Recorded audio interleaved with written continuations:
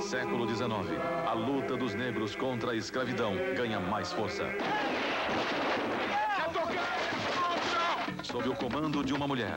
Chegou a hora de Oxóssi ajudar a gente em outra fuga. Rio de Janeiro, regência da princesa Isabel. Aqui, homens como José do Patrocínio, Joaquim Nabuco e Ângelo Agostini defendem os ideais abolicionistas. Enquanto houver um só negro preso nesse país por lutar por sua liberdade, nós temos que defendê-los. Em nome de uma raça marcada pela violência e pelo preconceito. A senhora ainda trabalharia para ele mesmo sendo livre? Você acha que é capaz do seu coronel não querer mais eu? De nada adianta libertarmos os escravos se não lhes dermos condições de vida. Abolição, série brasileira em quatro capítulos. Estreia amanhã, dez e meia da noite.